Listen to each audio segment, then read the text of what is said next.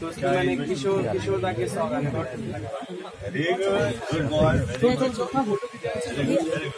तो ये आप करे थे?